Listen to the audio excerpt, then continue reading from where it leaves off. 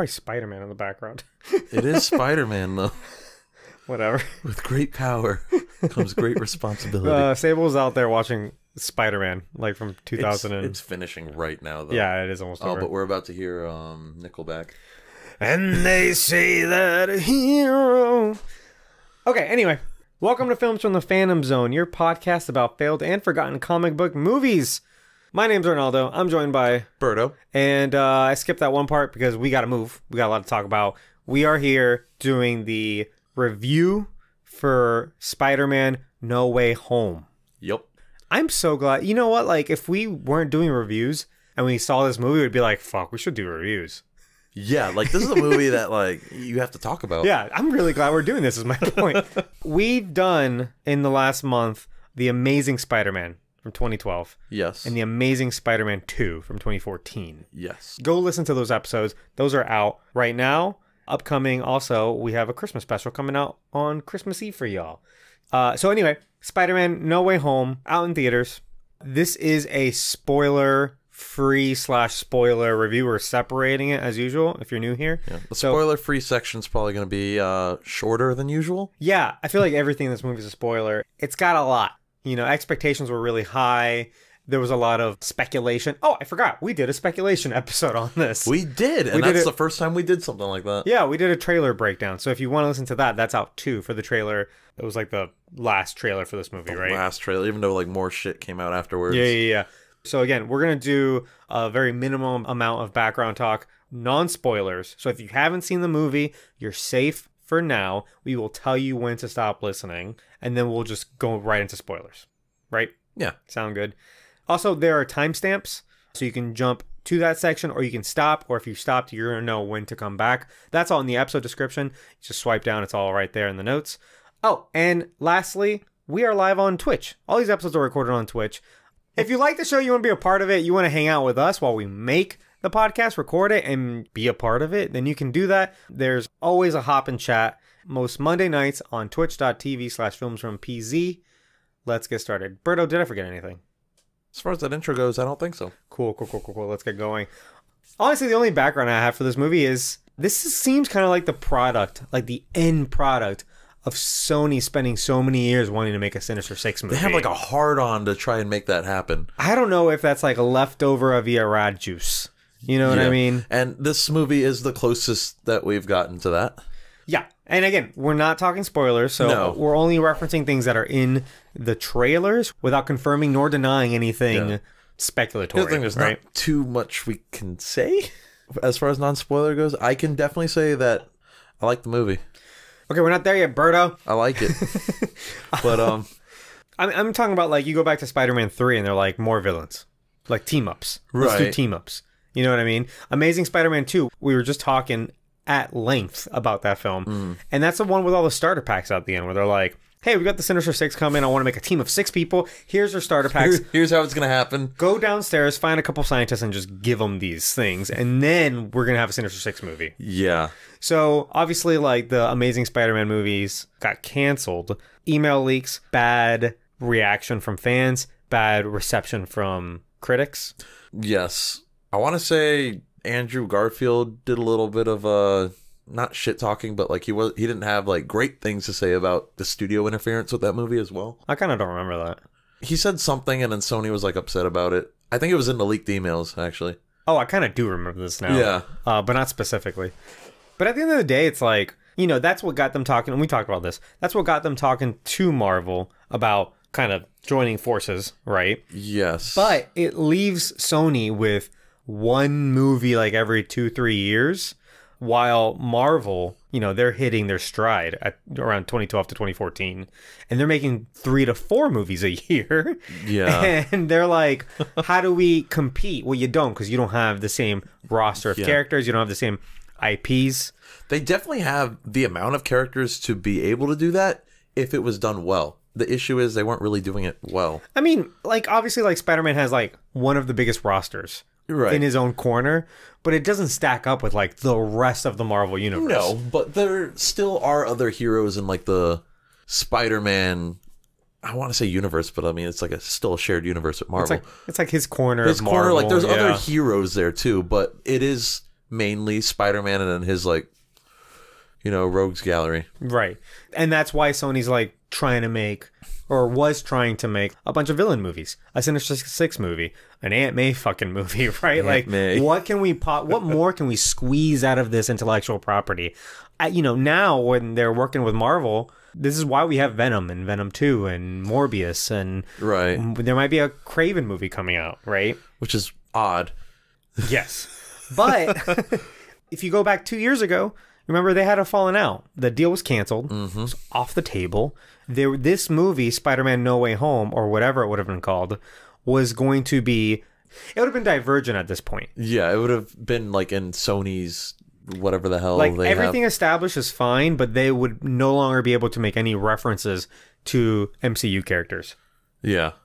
On that um that Sony breakup with Marvel, uh apparently Tom Holland talked to Bob Iger Yeah, so that's one of the things that kind of ended it is Tom Holland like called Bob Iger drunk. drunk.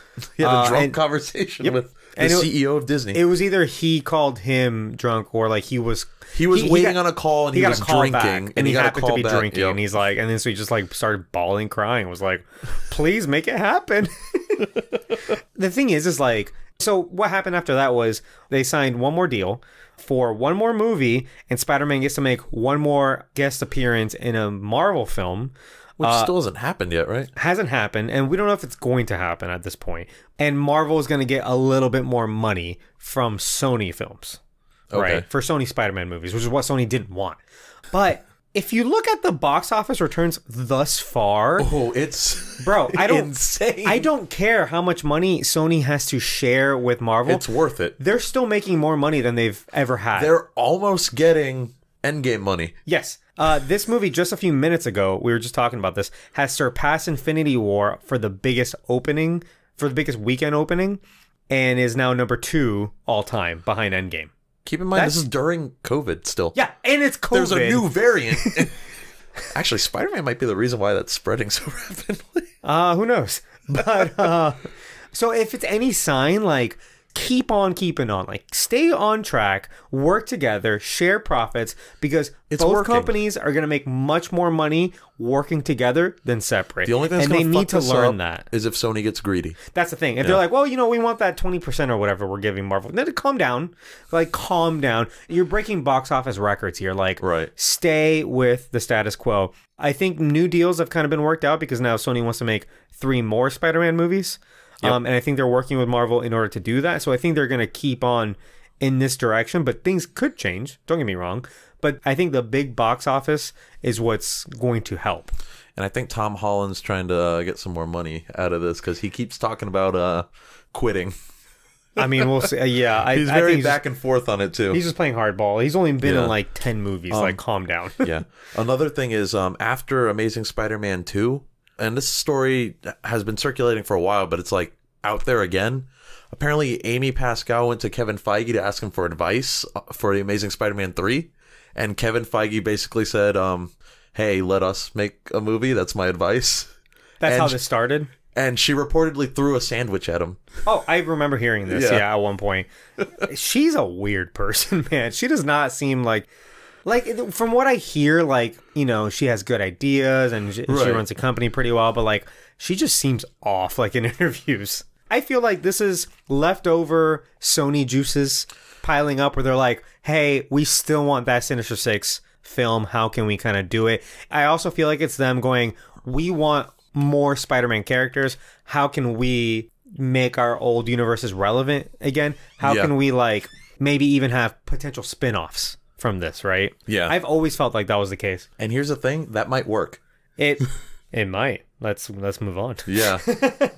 Uh, all right, cool. Let's get into the next segment of the show. Our review without spoilers. This is a non-spoiler review. You are safe to keep listening. If you haven't watched the movie, that's okay. We will give you a, a nice long warning uh, when we start spoiling the movie. Overall thoughts, then, Berto. What you got? I liked it a lot. I really enjoyed this movie. That's all you have to say. I mean, without spoilers, kind of. Um, You saw this movie twice. I know. Performances were good. Okay. Willem Dafoe killed it. He was fantastic. Even Jamie Foxx's Electro. I was impressed with uh, what they did with him. Yeah. The guy that plays Curt Connors, uh, he it was I'm- mostly the same. I'm gonna be honest. I didn't think that was him. We'll get to it, but I thought it was like, I, I thought they didn't bring back. Uh, Oh, you didn't think it was him? Rhys uh, uh, Ilfen? What's his name? I don't remember his name. It's something like He's got that. an odd name though. Yeah, yeah, he's like Swedish or I don't know. And then um, who's the dude that plays Sandman? Tom Haden Church, Thomas Haden Church. Yeah, that sounds right. I'm surprised they, they actually brought him back too. Same. Also, he looks like he didn't age a day. could have been de-aged, True. but And then we also have, you know, Benedict Cumberbatch, yeah, who's always amazing as Doctor Strange. Tom Holland, good. Zendaya, good. Marisa Tomei. Marisa Tomei, amazing. Yeah, I love her. Everybody's performance was great. I'm glad that they brought these actors back from their respective movies to play these villains again. yeah. Oh yeah, I forgot to mention Alfred Molina. But Alfred Molina. I watched some of their interviews Mm-hmm. where they they had Willem Dafoe, Alfred Molina, and Jamie Foxx together, and I didn't realize how large Alfred Molina is. He is like six foot two. I didn't know that. And Willem Dafoe is like five foot like eight or something or nine, and so is Jamie Foxx. And you put them all next to each other like in a row, and I'm He like, like towers over them. he towers and his like head is much larger, and he's like he's kind of like wide set. I'm like, this man looks like a football player. like Alfred Molina is kind of a large man. Wow. I don't mean that like he's like chunky or anything. I, I, mean, he's I just, just like I never realized like how big he is. he he looks like he got like scaled up digitally next to like uh Willem Dafoe. Willem Dafoe's like very skinny. I guess in the Spider-Man movies you wouldn't really notice that because he's got the arms that are carrying Yeah, around, so and- he looks taller. And they do like Camera tricks. yeah, they're usually just kind of shot on their own too. So anyway, I just thought that was funny. But I uh, didn't watch that interview because I was trying to avoid like all media surrounding Yeah. this movie. It was they were fun. We were just kind of chit chatting. Alfred Molina's like, I am classically trained. Oh, is he one of those actors that went to He's- like? yep, to like a proper like British film. That's so fucking British. acting school for the theater. but yeah, performances were good. I love the score of this movie. Did you know? I'll talk about it later. It's not a spoiler, but like I don't, I just don't want to divulge too much information that you might catch on your own. So like I don't want to talk about like musical cues. Obviously they're they're there and you'll Yeah. hear them, but I've got some little some little bits I want to talk about. All right, and we'll get to it in the Yeah, spoiler yeah. section. I'm Yeah, yeah, yeah. Overall, for me, I fucking love this movie, and I think paused for dramatic effect. What? I was gonna ask, did it blow you away? Yes. Oh shit! blown away. I think I think this is a near perfect film, and I'm not underselling that at all. And here's the thing: I saw this movie today for the first time. Today's Monday at the time of recording. Right. Um, the movie came out on Thursday. Obviously, I was away. I went to Puerto Rico for the weekend, and I wanted to try to finagle seeing it there because I also have a lot of like fun memories of Spider-Man in Puerto Rico. I was in Puerto Rico the summer that the first Spider-Man movie came out.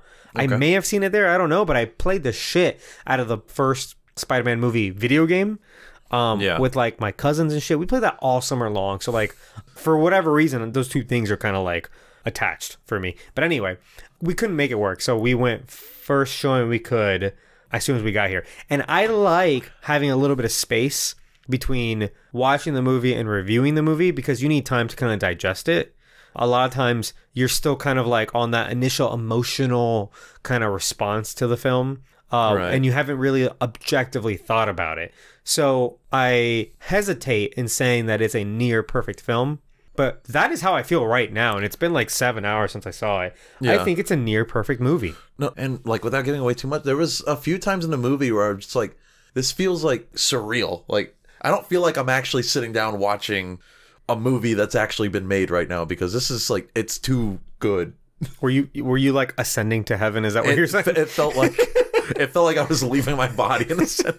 you were having a out of like, body there's- there's experience. no yeah. fucking way. I mean, Doctor Strange did that to you in your ethereal. like I have to be dreaming right now because there's no way they made a movie that I enjoy this much right now. It had been a minute since I see something that exciting. I think. I mean, And it's exciting for Yeah. a number of reasons that we can't talk about yet. But okay, let me work it back a little bit. My expectations for this film were not that high. My expectations were middling. Like Okay. I was excited. I was trying to kind of control my excitement, but at the same time, as the news of like multiverse shenanigans was coming out, and we talked about this. yeah, As that news was coming out for this movie, it was going to bring back characters from other Spider-Man universes, and there was the uh, again. I'm not going to either confirm nor deny anything because I don't want, you know, sometimes people are like, I saw a tweet after I watched the movie and it was like, it was so clear what the spoiler was, but it like redacted certain words So it's like technically it. they weren't spoiling anything, but no, but it was like, they oh were. my god. Maybe I'll read the tweet later. But anyway, it was so spoilery. So I'm like, if you deny something too much and you're spoiling that it that it was there, that Yeah. it exists, you know. So I'm not. I'm going to try to tiptoe around something without really kind of again confirming nor denying. But like, there was a possibility that Tobey Maguire and Andrew Garfield were going to be in this movie, and we speculated about it a lot in that speculation episode of that trailer reaction Yeah. uh, episode. So I wasn't excited for that. That's not something I wanted. Like I thought that would be too fan servicey, Right. uh, and it would take away from this film series and Tom Holland Right. and these characters. And by adding Alfred Molina and Jamie Foxx and Willem Dafoe, I'm like, you know, okay. this is too much. And obviously, I'm expecting maybe more Spider Man. I'm like, this is going to kind of take away, this is going to be a huge mess. My expectations were really low. And somehow, I was just constantly amazed at how well it executed all of these things. Kind of in the same way where, like, Infinity War and Endgame, you're like, more Infinity War, more where you're like, there's too many characters. How are they possibly going to pull this off? Right. And then obviously, they made a great movie, and each character gets their time, and you're like, they nailed it. Yeah. You know what I mean? There's no other way you could put 30 fucking characters in a movie and have it work this well. and for this, I'm like, this is still a Tom Holland and Tom Holland's like little cast of characters. This is their movie. This is his very Spider-Man yeah, movie. it's very much their movie. Thousand percent. Any other element to this, the villains from other universes, Doctor Strange, they really play supporting roles in very creative ways, and yet they still get their own involvement. I was honestly amazed at how well they pulled this off. Also, this movie is like a giant event movie, which for me, it's like Spider Man is like kind of like he can be this big kind of hero, but he's mostly kind of the small scale hero with small scale problems. Right. He has very relatable problems that we talked about this. That's what the character of Spider Man is rent, all about. Exactly. Girls. Yeah. Yeah. High school things, college things. You know, can he balance a work and his superhero life and studies all together and Aunt May and blah, blah, blah, blah, blah, right? Right. At the core of this movie, and I'm going to talk about it in spoilers, there is a very small scale high school problem that kicks off the plot. Yes. And it's not in the trailers, so I'm not going to talk about it. But I didn't see that coming. it's one of those like it's like a little thing that blows up. Yeah. And I'm like, and it made me happy because I'm like, this is what Spider Man is. It, you know, he has very small problems that we can all relate to. Yep. He's an everyman. You know what I mean? And And he's a kid, so he doesn't quite know how to solve those problems. yeah, he doesn't really think things through all the way. Like, he still is uh, naive in a lot of ways. And yet, God, like, this is obviously such a big film. There's multiple villains, there's multiverse things. Doctor Strange is freaking out. Like, and yet, they handled it so, so well. And at its core, it's still a high school aged Tom Holland, Peter Parker film. Yes. And I think one of my other concerns too is like all of the bad Spider-Man movies. What's the thing we don't like about them? Too many villains, not enough time with Spider-Man. You know what I mean? Yeah. And I'm like, they're gonna do it again. It's gonna be a Batman Returns. It's gonna be an Amazing Spider-Man Two, where it's gonna be so villain focused that we're gonna actually shortchange the hero, and that didn't happen. I think a part of why that didn't happen is all of these villains already have an established history, which helped out That a lot. helped- they didn't that- have to like yeah, that, dig deep into it. but we spent time with them though. We We, we did, and we spent more time with them than I thought. we actually got a little bit more development from them than I thought we would too. I thought this movie gives more depth and more character development to these uh, villains than their own respective movies did. Yeah, You know what I mean? especially because since like we get to see them interact with each other too. that too. But like Electro is like oh, we just did this movie comically underdeveloped. Like he is as one dimensional as it gets. you know what I mean? And now in this movie he has he has some play. He has Yeah, there we get a lot of time with him and i'm like this movie does him better than his movie ever did and even the characters that had good development in the movies you have willem dafoe and alfred molina uh, their characters uh, green goblin and doc ock we get a little bit more in these films that we didn't know we wanted more in Like and it, it- was cool to see like Octavius and Osborn interacted because they knew who each other Yeah, were. they're both very famous scientists. yeah from their universe. yeah, yeah. They, they're gonna know each other, right? Again, like Green Goblin, like he had a t- he has a whole film. He has plenty of screen time. Mm-hmm. He comes back in like visions in the other two films, two and three, I believe, Yeah, right? yeah. So like we got plenty of him, and yet there is something more satisfying about getting a little bit more depth in his character after the fact. You know, and same with Alfred Molina, where like, you know, he just realized at the end of his movie, that like, oh, maybe what I'm doing is wrong. What, what happens after that? We don't know. He dies, and uh, at, the at the end of Spider-Man Two, like immediately after, uh, Yeah. you know, he just kind of takes a machine and goes down to the bottom and of the he does it to himself. He redeems himself in that way. But but it's kind of like wouldn't an epilogue work for some of these characters? This is kind of what that movie does. It kind of gives you an epilogue for these villains, Mm-hmm. and it was so satisfying. Again, in ways I didn't know I needed. until you saw it. It's right until I saw it. So again, my expectations were low. Oh my god, like so above and beyond. Let's look at the chat real quick. Something I've noticed about the MCU is that they know how to give everyone the right amount of screen time. That's true. yes. Yes, they do a lot in a little a lot of times. You know, one scene in an MCU movie with the right kind of character development can do more than like a whole series can. Yeah. What else? How many times did you cry in this movie, by the way? Twice. I cried twice too. I don't cry in films very much. I'm not an emotional person, uh, but this one got me in two places. That's all I'll say. That's all I'll let you say too. Yeah. we'll get to that later, For but different reasons, but it, it's just it's it's um, it's emotional in places. Like this Yeah. is a, this is a good movie. I also love this movie is very character driven. It's not very plot driven. The plot is actually quite simple. I think when you really kind of sit down and break it down. Mm-hmm. It sounds kind of convoluted because it has to do with like magic and Doctor Strange or whatever. But a lot we of that's already like understand all that. Exactly. And that in was in the trailer universe, too. yeah. So it's like after it kind of gets started, it's a lot of character development. It's a lot of character motivated plot. And that's something we talked about this in like X-Men where like the first two X-Men movies are so well written that they just create a problem, they have their set of characters and they allow what they think those characters would do to dictate where the film moves Yeah. you know and i think that is like an ultimate test of good writing where none of it feels like it doesn't make sense there's not a Right. point in those movies or this movie where you're like that doesn't really make sense why is you don't really question it. You know what i mean? There was one thing I questioned, but we'll get to it. I, yeah you said you had a plot hole. Well, I I had a plot hole, and there was also something I I questioned where I'm like, why didn't they just do this? But okay. we'll get to that. okay okay. I didn't really have any of those moments but also i just watched it today and i haven't seen it twice like you have. But um also like the villains were very well handled. I know i sort of mentioned that but like i was really afraid it would be a straight up we're a team now. Let's go kill spider-man which is what every other multi-villain Yeah. spider-man movie has been It seems like everybody kind of has their own motivation for doing what they're doing. but it's a very cheap way of writing something where they're like, "Hey, you don't like Spider-Man. I don't like Spider-Man. We're teaming up now. Let's go get Spider-Man." And then the third person's like, "Hey, I don't like Spider-Man either." I'm like, "Cool. Come on, Come on board. Get in the back. We're going after Spider-Man right get now." in, loser. We're going after Spider-Man. You, but you know, do you know what I'm talking about? Yeah, I, yeah. I remember this being kind of like a concern of mine going into like the first Avengers movie, where I was like, "Are they all just gonna kind of meet up and be like, hey, we're all superpower. Let's make a team." no, it was much more nuanced than that. It was problematic. There was a lot time. of like plot things moving around before they finally were like, "Fuck, I guess we're a team." You know what I mean? Like, oh, I guess I guess we are a team. Yeah. like they didn't want to be. Exactly. Yeah. And I think this, the way they handled the villains, I think was spectacular. Like Yeah. they formed a little team for a certain reason that I thought was very believable. It was all very character motivated. Mm-hmm. I don't think they all. Yeah, that's all I'll say.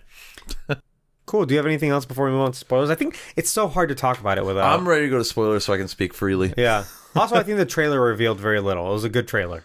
Yeah, I was I was surprised because a lot of times you see a trailer and you're like, cool, that the whole that's the whole movie. It seemed like the trailer revealed a lot, but it revealed like It- almost nothing. Yeah, I, I was surprised left and right throughout the whole film. And again, Yep. that's also, I think, like a result of two things: one, a good trailer, and two, a well-written movie. yeah. Cool. Let's go into spoilers. Thank God. So from this moment on, right now, spoiler talk. We're gonna spoil the movie. We're gonna spoil Spider-Man: No Way Home. Please stop listening now. There's so much things to spoil in this movie. There's a lot How to do we? spoil. I just figure we kind of go in order because, like, I don't know what where to where to begin. Right So we're just gonna hit like bullet points of like things now. in like the most order. Holy shit! yeah, yeah, so yeah, much yeah. happened. in like the most like chronological way I can think of. I think the first reveal, which may not seem like a big reveal to a lot of people, but it was for me. It was a Uh, big deal for me. uh, do you know what I'm about to talk about? Are No, you don't. gonna talk the first think- reveal? okay, for me, the first reveal is that Mary Jane's last name is Watson. And I know, small potatoes. Small potatoes. it's interesting. It's interesting. The because- Watson. because she, yeah, uh, they're like, oh, Michelle Jones Watson. And she's like, I don't go by Watson. And I'm like, oh, It's, that's intriguing. Um, Why yeah. don't you like being called Watson? What's the history? Is a, a problematic father who you hate? Who yells at you that you're garbage every Yeah. time you leave the house? like what is it i was and and for a long time we thought mj you know zendaya's character is michelle jones a completely original character who just happens to go by mj and it kind of fills that void and it's kind of basically saying we're not doing mj this is our mj right but it's not quite that she's also she's still mary jane watson she's just not mary jane Both. it's kind of both Yeah, because she's still MJ Watson, you garbage you're never gonna be nothing just, just, like, her. Yep. I have to go to school. That girl's like 16. Leave her alone. All right, small potatoes. Let's move on. Daredevil. the second I saw the cane, Same. I was like, yes. I grabbed Sable so hard. Here's the thing there are a lot of spoilers in this movie that were speculated so fucking hard because it seemed like the obvious thing to do. Yep. So, Daredevil, after Netflix canceled it because Marvel wanted to do their own TV shows, basically forcing Netflix to cancel. I think Netflix I think- at the end chose happened? to cancel it. Yeah, maybe that's how it happened. I yeah. think there was like, well, I mean, we don't want to like basically advertise for Marvel. right. It was something Uh, along those lines. Marvel couldn't touch those characters for two years. Right. So when those two years elapsed, basically people started tweeting a lot like, hey, today's a day, make a Daredevil announcement. You can use him now, put him in things. And like Kevin Feige basically like kind of, you know, pretended like he wasn't hearing all this because he had a plan in mind. Yeah. And then there was um that interview like two weeks ago Oh, yeah, yeah, where they asked him if uh, Charlie Cox would be returning as Daredevil. It was while they were doing a tour for Spider Man, Mm-hmm. And Amy Pascal was there too. And he said, like, yes, if Daredevil was to come back in any future project, and then Amy Pascal immediately started laughing and giggling and stuff. Oh, my God. So I'm like, oh, no, she just it, no he's, he's gonna be in the fucking movie. no poker face at Yeah. all. People really thought that it would be that hand in that shot uh, from the trailer. Oh no, that just ended up being a damage control agent. Yeah. there's just- apparently a character from the comics, but I don't really know him. So Oh, really? yeah, okay, cool. his uh, his interrogations are pretty funny though. Yeah, I thought they played with like the characters very well. He he, you know, he played an asshole real well you too. know, MJ being like smart Yeah. and aloof. Ned being tricked. yeah, and just kind of like what's it called, word vomit, Yep, and then um which he almost did. Like he in that Homecoming, he wanted to like tell everybody he's Spider Man. he can't keep his mouth shut. uh, and then like Aunt May just like being like basically fuck you. yeah. But anyway, yeah. So Matt Murdock, uh, Charlie Cox in the movie. Oh, when he caught the brick. That was great. And it's almost kind of like, would he have done? It's just kind of like, we have to show this is a Daredevil really fast. Like he has a, Yeah. you know, he has a one minute cameo, but that's kind of like a, we're going to table this discussion for later because we're like, actually going to be friends. Like clearly that man's superpower. So for people that don't know who he is, I guarantee you're like, what the hell's up with this guy? I love that he intercepted the brick because Yes. Peter was about to catch it Yep. and Daredevil caught it first. Uh, fun fact: over the weekend, Daredevil was trending on Netflix. It was in the top ten shows. For multiple reasons, For though, multiple because reasons. Kingpin is in Hawkeye. I love Daredevil so much. I love that show. I Uh, really like that show a lot I'm, too. I'm now binging season three, which I didn't finish. it's one of the better shows that Marvel TV, when it was a thing, worked on. no best one. Best I one. like Agents of Shield a lot though. Oh, shut the fuck. God damn it. No, Daredevil's and the best Punisher. show. Punisher's amazing. Punisher's good, but uh, Daredevil's the best one. Yeah, I'm just so happy he's back, and I love that because in the comics they're both kind of street level New York. Yeah, they team up a few times. They times. team up a lot. Yeah. They both have a common enemy with the Kingpin. Kingpin. Yeah. And I guess Hawkeye does now too. Yeah. cool. Uh, can't Oh wait yeah. for- Spoiler for Hawkeye. Oh, God, spoiling everything. At this point, if you're not caught up on your MCU, like, get out, get out. Why are you listening to Uh, this? there's also um, other connections. Uh, obviously, the uh, Rogers the musical we Yep. saw, and this movie takes place, I guess, like a month before Hawkeye. It takes place in November, yeah. And then uh, obviously ends in December uh, during Christmas time. And also, uh, Yelena in Hawkeye makes reference to the new Statue of The Liberty. new Statue of Liberty and the Oh, Christmas actually- tree Hey, in the wait a second. Center. Wait a second. The Statue of Liberty never gets finished. Unless, unless if they she refinished doesn't it, know that yet. maybe or maybe it's Baal. I'm just kidding. No, because it's it's clearly being like advertised that there's gonna be a new Statue of Liberty because there's Yeah, yeah. there's phone calls. But that's in December. That's in Christmas time. yeah. When in November, You think they got He- he shield back up in a month? that's what I'm saying. Like he destroyed it, so it's just regular Statue of Liberty again. Mm-hmm. they could have fixed that in a month. Well, maybe who knows? Anyway, Maybe they use some of that seized Stark technology for that. That whole part where everybody knows uh, Peter Parker, Spider Man stuff. When they're in the apartment, that whole scene that's done in like one take, I loved it. it was so good. incredible. So so good. I think it's one of those where it's like probably not done in one take, but it's made to look like that, and it really gives you a sense of like realness and pressure, and like Yep. kind of like the walls are closing in on you. You get a It sense was of very space. chaotic. Yeah, and, that right, so good. Like Peter's trying to close all the windows. Aunt May's trying to talk to him about sex. Yeah. Well, he's like, this has nothing to do with that. He's trying to like divert the conversation to like their breakup. Happy's crying. He had on the. There's so many little Easter eggs too. He put on like the T-shirt that Tony Stark bought him. Yep, which isn't baggy anymore. It's like he grew into it. Oh man, he got a. He's a little muscular. Yeah. Yeah. Okay, what's the next cool thing that happens? The Doctor Strange fight. That was great. When he gets astral projected and his body is still defending itself. Because the spider sense is Yep. subconscious. if I you look at that. Peter's head while he's uh astral, you see like the lines coming out of his head too, like the in the comic when he has a spider sense. no way. Yeah. What? You see like little squiggly lines. Oh. I'm gonna have to see that. That's so badass. I love that fight. I love the spider sense. I loved going to the mirror dimension. That makes perfect sense for what they were doing. And we saw Yep. that in the trailer, but I kind of didn't put two and two together that they'd be going in the mirror dimension. What did you think was happening with like know. flying trains and stuff? Yeah, I guess you're right. um, Why didn't Strange and Parker discuss the parameters of the spell beforehand? yeah, it's He, almost he, he did kind of rush into it. Yeah. That but then it'd be kind of one of those situations where it's like cut to credits, written directed by George Lucas. You know what I mean? It's because the movie had to happen. yeah, but- exactly. Oh. I, I saw a meme that was like, "Why not just make people forget Mysterio?" Problem solved. He's dead anyway. roll credits. yeah, roll credits. But yeah, Peter 100% caused all this to happen when he was the last thing he yelled before the spell went crazy was basically everybody who knew I was Spider-Man before should still know.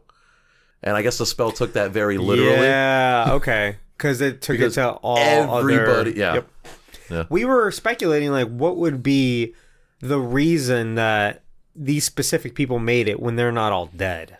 You know, and it's because Yeah. them dying had nothing to do with it. It just so happens that several of them learn who Peter Parker are the moments before they die. Which brings me to my one plot hole in the movie. Okay, go. Electro never learns that Peter Parker is Spider-Man. And he's the only Are one you- that doesn't know. Really? Yeah. Because Green Goblin doesn't even know until after Electro dies. That's my one plot hole in the movie, and it's something that could be very easily retconned. I'm sure it could be like, oh, you know, he heard his name or something like that. But I don't think at any point in The Amazing Spider Man 2 it's, his identity is revealed to Electro. And this movie even alludes to that when Electro's like, I thought you'd be black. Like, he didn't know what he looked like, which you can know somebody's name He- without knowing what they look like. he could have also thought that prior, maybe. You know, Yeah. like if he, you know, but True. this is the first time they're talking or whatever. Yeah. But yeah, that's that's my God, you might- one that's my one plot might, hole in the movie. You might be right. I can't really think of why that would happen. I mean, also like Everything else we're gonna talk about it, but Eddie perfectly. Brock comes over. He doesn't know That actually might be explained in the Venom post credit scene. because he has Venom's hive mind My- yeah, knowledge that's what I thought, too. across universes. Yeah, that's kind of what I thought too. But which oh, I'm kind of sad we didn't see Topher Grace. they could have redeemed him. Yeah. you know what though? Just post credit scene. Topher's just walking down an alley being like, what the fuck is going on here? And then have him just like blip away again, you know? I mean, that's basically what Eddie Brock did. He just that's what I'm saying. he got drunk in a bar, learned the history of the MCU, and got sent back. What if like at the other side of the bar was just like Topher Grace? It was like, I'll have another one.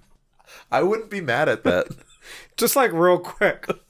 It's like why not? He doesn't have to actually do anything in the movie, which I'm so glad Tom Hardy had nothing to do in this movie. Yeah, we're gonna get to him. Um because again, we're trying to go chronologically, that's at the end of the Yeah, movie. that- we jumped around a little bit. Uh Aunt Aunt May. Aunt May dies. That was my first time crying in this movie. Me too. I didn't see that coming at all. I didn't want. Here's the thing: when a movie foreshadows that a character is going to die, I I can usually spot it pretty well. The problem is, is like as it's happening, I'm like, please subvert my expectations because I don't want to see them die. Like I, Right. at the end of the day, at the end of the movie, I'm gonna be like, that was the right call emotionally and narratively. However, in the moment, I'm like, please don't make me feel anything. No, and the reason I think the reason why it got me emotionally is one, I love Marisa Tomei as Aunt May. Uh huh. She was very likable. Yeah. Two, the way Peter reacts to it reminds me a lot of uh, Mufasa's death in Lion King when Simba is like, "Dad, wake up," and he's like trying to wake him up. He's like in It's- denial about It's it. denial, yeah. It, it Yep. hit me. because it's it makes you really feel like you're there like something horrible happened and that's it there's no going Yep. back like this is you can't change it And then Happy pulls up, and he doesn't even get a chance to grieve before they start like pointing guns at him. God And he's telling Peter to run. Like that Peter has whole moment was like- like so intense. leave her corpse like yeah Yeah. And she also says the line yeah she says a line about And- uh yeah with great power, there must also come great responsibility, which uh-huh is a Say it. rewording from the Sam Raimi movie, but, But- it's but- the but- original wording from the comics. it's that's how it That's originally appeared Stan Lee's original line for it. on the first issue on amazing fantasy 15 Yes. yeah Which I thought was fucking awesome. Yep. And oh, made it a little bit more emotional. what a nerd god you're squeaking that shit so much No, I'm Stay moving around still. too much. I'm excited. it made me question a couple things. It almost felt more more emotional than losing an Uncle Ben, which we didn't see, obviously. right. But it's alluded to, but it's yeah. right, right, right. But you know, Uncle Ben being kind of like the moral compass for Peter Parker, right? Right. But as these movies have established, Aunt May is that's his real parent. Yeah. You know, Essentially his mother. Yeah. Like the way we see her parenting in the last two movies, especially Homecoming, because we don't see her a whole lot in Far From Home. No. You know, having just rewatched Homecoming, like she's like the best mom because she's kind of not a mom. You know, she she kind of like toes the line between aunt and mom in such a way that I feel makes for a better parent at the end of the day. It seems a little realistic. Yeah. So Uncle Ben is gone. You know, Aunt May is all he has left, and which is why Aunt May doesn't really die very often because that'd be too sad. She usually doesn't. Right, that's what I'm saying. She survives all the time. Miraculously old. I can think of only, I guess, counting this movie, only three instances where she dies, oh yeah, like in and in and one of those, she gets brought back. Right. so this is it. He has no more parent. Like this almost means more this death than Uncle Ben's probably did, even though we didn't see it. Right. And then when when she delivers a line later on, it's kind of confirmed that that's his first time hearing it. So whether or not Uncle this Uncle Ben, the MCU Uncle Ben, whom we never met, whether or not he ever said it, doesn't matter because Peter Parker never heard it Right. until Aunt May said it. Right. And I thought she was going to be like like Uncle Ben would say, but she didn't say that. Those are her words on her dying moment. This is one of those universe things where it's just slightly different in a way that I'm like, holy shit. So it almost makes these three movies feel like this is Peter's origin in three movies instead Yeah. of in one. It's like he had an origin Thing. trilogy, yeah, because especially with where he ends up at the end of this. right, Yeah. Yeah, yeah, yeah. Because like again, we don't know what his Uncle Ben was like, and we don't know what impact that death had on him, and I'm sure it had some, but it wasn't the hero defining moment that it is for every other Spider-Man we've ever seen, right? Yeah. So I really loved how they gave that to Aunt May because it's just kind of like you know Uncle Ben for like a minute in every other iteration Yeah. it doesn't have the same emotional weight as this character whom we've known for a while again, single parent, not even her kid. You you really feel for her. Like she's she's roughing it, Yep. but she's a great parent for Peter, and they have such a beautiful relationship in these films. And she's a good person. Yeah. Obviously, they, all that feast stuff is still Yeah. there. So, God, like that really hit. Yep. And I cried there. And both performances, Tom Holland's and hers, Yep. just really, really believable. Really well done. Yeah, Aunt May's death was the result of like this whole sequence, but this whole sequence um kind of starts when uh Peter's spider sense like starts going off and he doesn't know what the hell is causing it. Yeah. He's like walking around the the, the apartment. He's like Yeah. like what the it was almost creepy. But then he figures out He that figures out that uh Norman, Norman, had yeah. become the goblin again. Uh huh. That was good. And my god, the goblin is brutal in this movie. Norman's on sabbatical, sweetie. or is it honey? Honey. God, I'm really happy that this movie realizes that the best villain out of all of these is Willem Dafoe's Green Goblin and made Yeah. him the primary antagonist. and they took away his dumb mask. Yes, they do that pretty quickly. uh, also, yeah, his costume. We're gonna get to costume talk soon. Yeah. but his costume felt like we we talked about this in the when we were talking about um uh, in the trailer reaction. We speculated and we kind of knew that that was it was him all along. But um, his costume. Is like a course correction from the complaints of the the first movie. He doesn't look like a Power movie. Ranger anymore. He right, he looks like a Power Ranger. He's wearing a helmet when really he looks nothing like the Green Goblin. In this one, they give him an orange sweater that's sorry, orange, not orange, purple. Purple. That starts like deteriorating during battle, so that the end result looks like the Green Goblin. That is Yeah. so smart.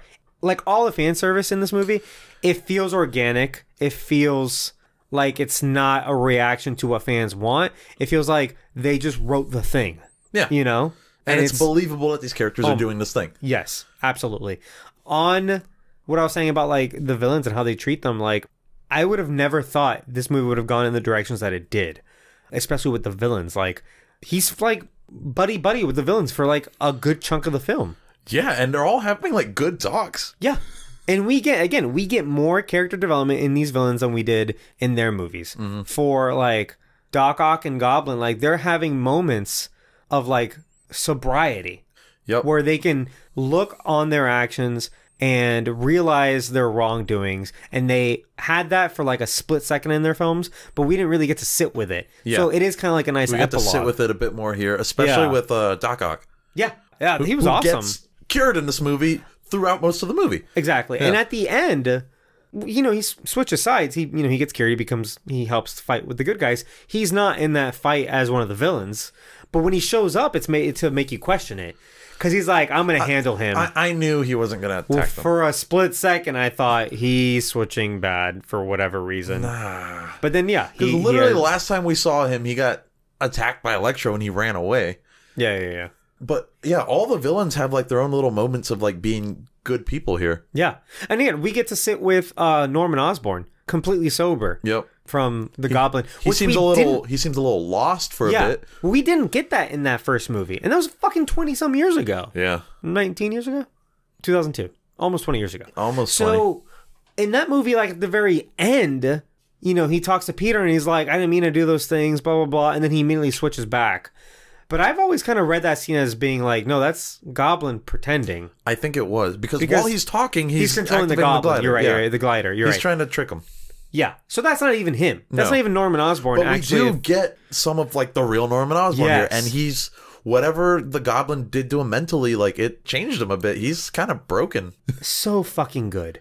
And Yeah. I just think, again, in my opinion, the best Spider-Man villain we've ever seen on screen is Willem Dafoe. An incredible actor. And so it's great that they picked him to be the main villain here, and it works so fucking well. And his first fight with Peter, like the action feels very brutal and very like real. They're like slamming each other through Uh, walls. or- in the in the apartment, yeah, in the condo. Peter's yes. punching him and he's laughing. that might be my favorite action scene in any Spider-Man movie.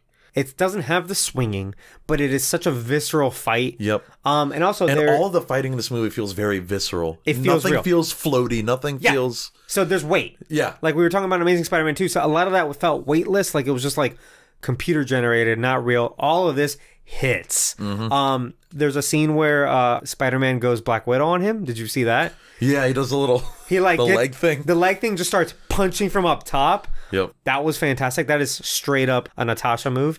Um, there's also a PS4 move. Tom Holland said he did one. Was it the um He jumps up, webs to the floor, and, then kicks him? yeah, and then pulls himself down, which is a, which is a PS4 move. Love that. This movie makes a point of like, why try to reboot something that's already been done so well? It's it'd be very difficult. It's a mistake that like the Amazing Spider-Man films did, because it's Yeah. like you're just living in the shadow of Willem Dafoe. I guess why not just bring back Willem Dafoe? That's our Goblin. And uh, if we're going to have another goblin character in the MCU, it makes more sense now that it's a hobgoblin. I'd be fine with that. Who could potentially be Ned? I guess. It doesn't have to be. I'm just saying, like, a hob- hobgoblin has been like four or five different people. Yeah. But it's a person who admired Green Goblin and is doing that. He's like, I'm going to do Hobgoblin that. was a Green Goblin fanboy. Because they were Mysterio fanboys. Yeah, Like, he had a lot of fans. A lot of people are like, and Mysterio he was was around right. for like two minutes. Yeah. So now it would make perfect sense for Willem Dafoe to have inspired another goblin character, and then you you get to have your cake and eat it too. You get to have a new goblin who is still an original take while still being really good. And that is possible because there's a scene where uh, MJ's like looking at TikTok real quick, Uh-huh. and you see somebody like it looks like somebody like recreating Green Goblin's glider Perfect. on a TikTok. do it.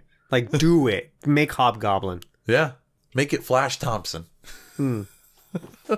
I like that they like make fun of things that we didn't like in those movies, but in a very respectable way. Like they they They they do that a lot with the Andrew Garfield stuff. They do it with both. Yeah, I mean, making fun of Doc Ock, obviously, but like Spider Man always makes fun of Doc Ock. yeah, He's stupid. It's, it's a thing. Yeah, He's got a bowl cut. and his You name know? is Doctor Otto Octavius, and he becomes Doctor Octopus. exactly. Well, even Spider Man Two makes fun of that fact though. Yeah. Oh yeah, they they did put the memes in this movie. I missed one meme. Three Spider Man pointing at each other. Did they oh, point? Oh yeah, it happens in the. I read it, but I it didn't kind notice. of happens twice, but when they're in the lab together, they do point at each other. Okay. And then when Oh, they're oh, wait. standing in a circle at the top of the statue talking, there's points where they're pointing at I, each other. I didn't well. notice that. The other memes were, you know, I'm something of a scientist myself, Yep. which was fine because he's probably said it a million times. It's probably It's- his catchphrase. it's like a dad joke. You Yeah. know what I mean? You know, I'm something of a scientist myself. My dad used to make. Oh, my dad's a doctor, and he used to make all kind of kinds of fucking jokes about how he's a The doctor. doctor's in. They've got their dad jokes. And then, I uh, totally buy that. There's the my back. Yeah, that's not really a meme though.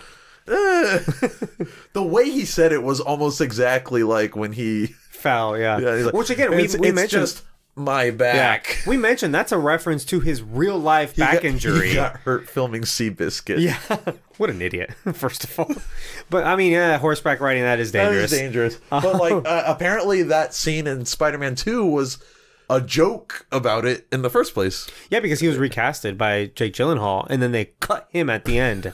Jake Gyllenhaal was briefly cast as Spider Man, which is one of That's like. it. well, they do when they were younger. They looked very similar. Yeah, well, that was one of those serendipitous moments when they casted him as Mysterio. You know, yeah. like you get to be in Spider Man finally. but yeah, should we uh, move on to the huge reveals that we've already kind of talked about? Uh, yeah, oh yeah, yeah, yeah. Um, yes. Moving on. Biggest reveal, obviously. Ned is magic. Yes, you read my mind. He puts on that sling ring like a fucking champ. I just wish we could see Peter.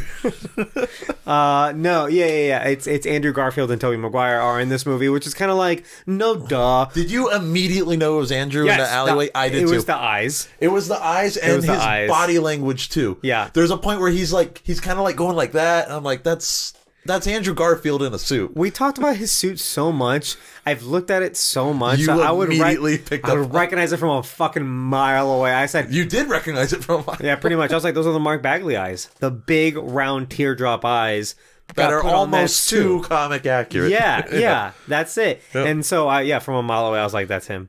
Honestly, hit that suit, which I said I didn't like in that movie, It looked good in this movie. It looked good in this movie. It's obviously a different suit made to look exactly the same. It's physically a different suit. Right. Oh But- yeah, it's not the same prop. Whatever this, right? The materials, whatever they did, worked in Some- this movie. something looks better. I liked it very much. I liked it. Yeah. And uh, He gets the colors. It's a he's color still got thing. his awesome spider. I think he has the best spider symbol You like with the, the, long, the legs. long legs? I like it. It's almost like paint drip. Yeah, it's almost it's almost like like, it's edgy. It, it is edgy. It, it works in his universe. Seeing It's similar to the PS4 too. Yeah, I'm so glad he was the first one revealed because I think it. They would obviously save Tobey for last. Here's the thing, He's though. the original. I, I, honestly think Andrew Garfield stole the show in every I- scene he was in. I, agree with you. I think Andrew was very good.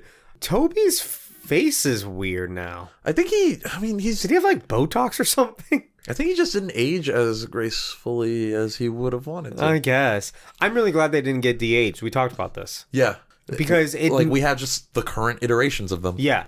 I, I wouldn't want three young Peter Parkers. No, I wanted an old Peter Parker that's going to impart wisdom on young Peter Parker, which is exactly what happened. Which, can I get to my next thing I want to talk about? Sure. I fucking called the thing I said. I predicted that scene almost verbatim, by the way. The great power. yes.